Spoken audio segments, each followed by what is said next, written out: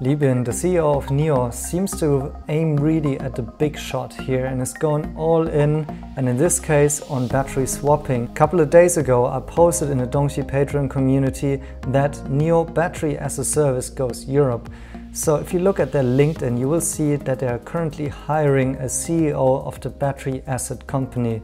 Now you would say, well, that's not really news, right? We knew NIO will go and go to Norway and also brings the battery swapping stations with it. And so we know since the NIO announcement that they're going to enter Norway, uh, that they also bring the swapping functionality of their cars to Europe, which at the first point that wasn't quite clear from the beginning now. But it seems that Li Bin is actually really aiming higher here. And now with the CEO hiring of a battery asset management company, um, I think it's becoming quite clear that they also want to bring not only the swapping stations to Europe, but also battery as a service. So in Europe, people will be able to lease or rent the battery as they are in China and also can actually swap different batteries as they want. So for instance, the 70 kilowatt hours can be swapped for and replaced with a 100 kilowatt hours in the future, possibly also the 150 kilowatt hours, which is a solid state hybrid battery and um, that will be available also to NIO users in Europe in the future. And that's just my guess, it's just speculation for now. But why I think so is because the CEO hiring here is happening in Amsterdam, so it seems that this will be the new central point and uh, the new uh, hub for NIO in Europe.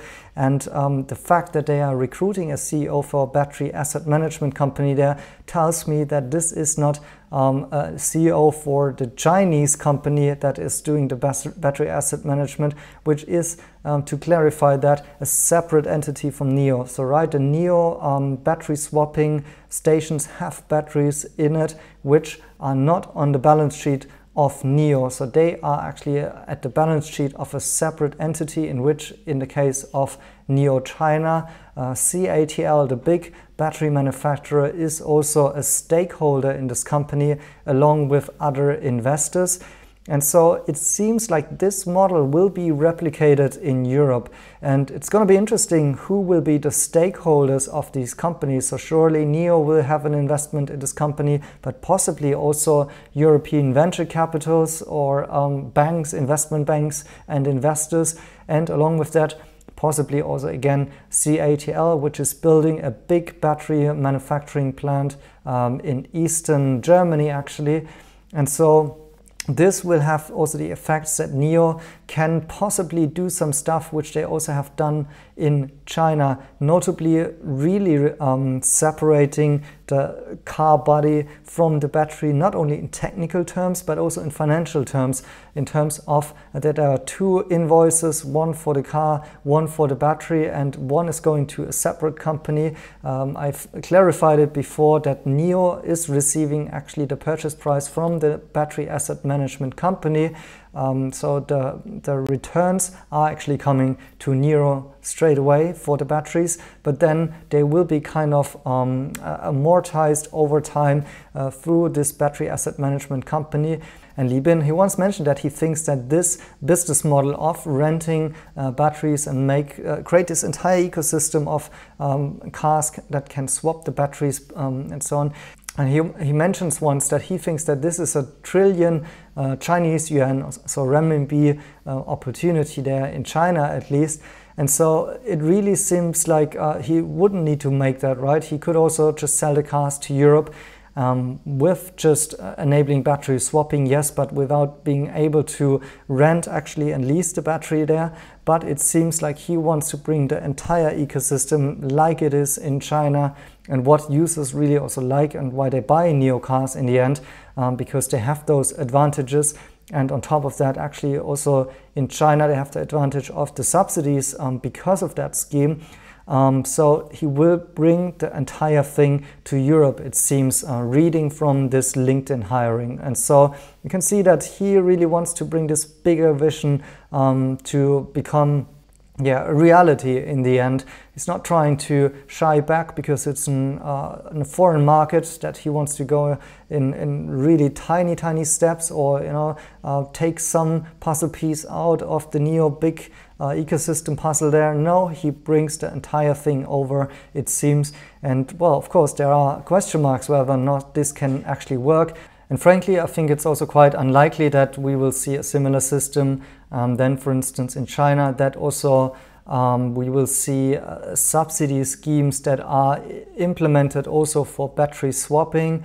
Although we need to know that uh, NIO is already quite active also, for instance, in Germany. They have good government relations, for instance, and there, might, uh, and there might be other OEMs interested in that technology and possibly they want to keep the option also of having battery swapping established in Europe and uh, kind of you know, making it a reality as well. And so, well, we will see what happens ultimately. Uh, the fact is that this is big thinking by Li Bin, and that also underlines once again the aspirations of NIO as the company by the CEO, and for instance, also for investors, the huge potential which is there in the stock ultimately. And on that note, if we look also what's happening on how fast NIO is um, scaling out battery swapping right now. So, so yesterday, NIO built or launched um, 11 new battery swapping stations alone in China in one single day. Previously, they were at a rate of building one swap station per day.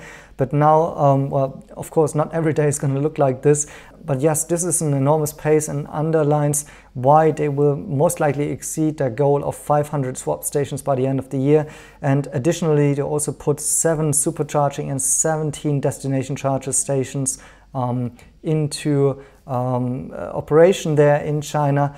And so they are really heavily focused right now, it seems, on the infrastructure build out and not shying away of bringing the same thing and the same ecosystem with all the benefits and all of the interesting things around those reoccurring revenues. Also the ability to manage the batteries um, from a, a central uh, NIO cloud system where you can see the efficiencies of the batteries, the, the charging states, uh, where are lemons, for instance, in the system, uh, improving uh, the battery life over, over time through the system. All of those aspects as well of course for the users um, the upgradability and the flexibility as well as the lowered pain on fast charging issues there. Um, so all of those aspects will be coming to Europe as well it seems.